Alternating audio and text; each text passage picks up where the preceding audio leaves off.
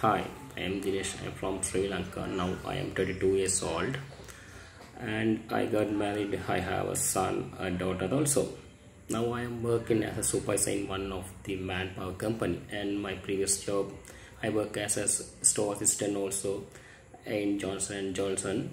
In my previous experience, I was in abroad Kurdistan, that part of Iraq uh, before 2005 I worked there also as a salesman two years after I got promotion as a, as a supervisor also.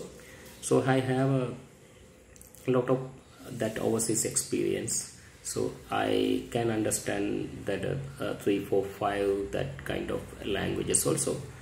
So I hope I can do my best because I thought to go abroad and I want to earn money. I want to give good education for my child and I want to give some good foods.